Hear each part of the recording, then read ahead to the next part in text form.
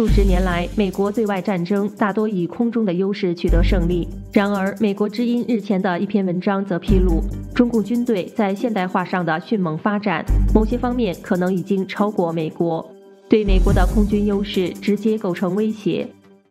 美国之音十月十三日发表了一篇题为《中国在空军优势上会超过美国吗》的文章，文中提到。在九月二十日，空军协会举办的二零二一航空、太空与网络年度会议上，空军参谋长小查尔斯·布朗将军表示，目前中共军队拥有所谓的太平洋地区最大的航空部队，并在我们眼皮底下发展他们的部队。他预测，中共在二零三五年前会胜过美国的空中优势。空军副参谋长克林顿·希诺特中将也在会上警告说，美国没有跟上中共的步伐。在一些重要领域中，我们落后了。这不是明天的问题，而是今天现在的问题。希诺特认为，中共已经赶上了美国的空军力量，同时亮起红色警戒灯。在九月二十日的会议上，美国空军部长弗兰克·肯德尔在其讲话中二十七次提到了中共，而他只一次提到俄罗斯，三次提到阿富汗。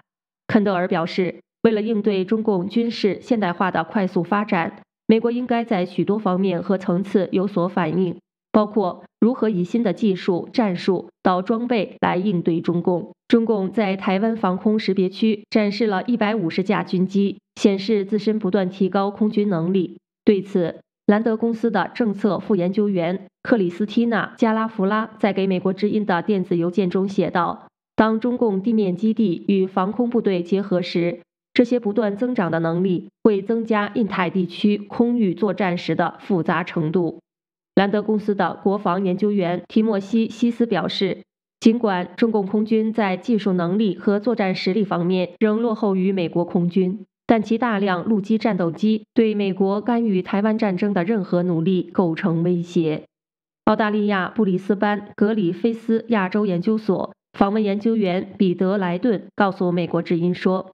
美国可能会在短期内获得对台湾上空的控制权，但要在短时间内做到这一点还太遥远了。美国空军部长肯德尔八月十三日在 Zoom 上接受《空军时报》采访时表示，说美国是主导力量只是一种假说。当距离中国约一千英里以内时，我们是占主导地位的，但这种情况开始发生变化。另外，海金伯瑟姆在接受美国之音电话采访时称。美国只有不到百分之十五的航空库存在西太平洋，加上美国并非所有的飞机全天候进行飞行。不同之处可能在于，中国可以在当地和特定时间段里挑战你的优势。